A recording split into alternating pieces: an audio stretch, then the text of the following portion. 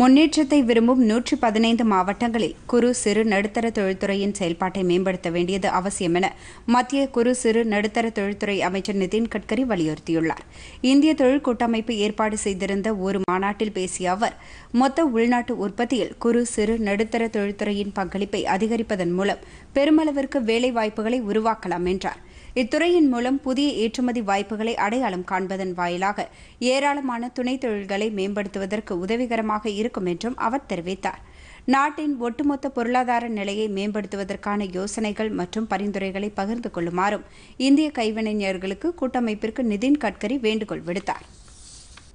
பொதிகை செய்திகளை யூடியூபில் தமிழ் நியூஸ் தூர்தர்ஷன் என்ற சேனலிலும் முகநூலில் டிடி பொதிகை நியூஸ் என்ற பக்கத்திலும் ட்விட்டரில் டிடி நியூஸ் சென்னை என்ற பக்கத்திலும் இன்ஸ்டாகிராமில் டிடி பொதிகை நியூஸ் என்ற பக்கத்திலும் காணலாம். மேலும் உங்கள் கருத்துக்களை Podhigai DD news at Gmail dot com என்ற மின்னஞ்சலில் தெரிவிக்கலாம்.